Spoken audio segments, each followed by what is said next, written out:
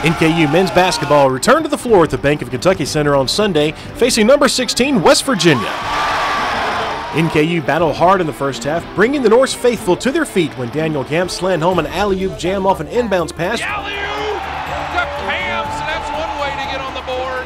The Norse would keep pace with the Mountaineers in the first 20 minutes, trailing by 3, 2017 at the break. In the second half, the Norse continued to battle, but West Virginia gradually pulled away, going on to defeat NKU 67 42. Chad Jackson led NKU with 12 points and was just one rebound shy of a double double with nine.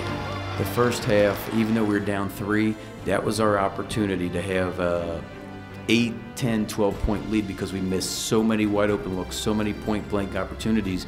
Because the second half, you know they're going to go on a run and to have a lead of that would have been able to cushion or absorb some of it and still have you know be right there and that didn't happen. I don't think wisconsin and wisconsin we played wisconsin they just used their length. They really weren't uh, looking to press us as much as west virginia was. Uh, nebraska was a little bit the same way. They kind of used their length uh, but west virginia was just in your face uh, but i thought it was good for our team. I thought like anthony said we held, we uh, handled it well in the first half and uh, we just kind of let them get the best of us in the second half.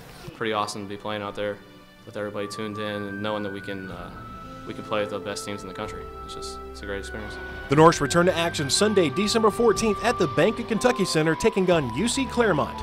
If you can't be there in person, the game will be carried live on ESPN3 with live stats available through NKUNorse.com. As always, you can get live in-game updates on Twitter by following NKU Norse Game Day. For NKU Athletics, I'm Brad Pope.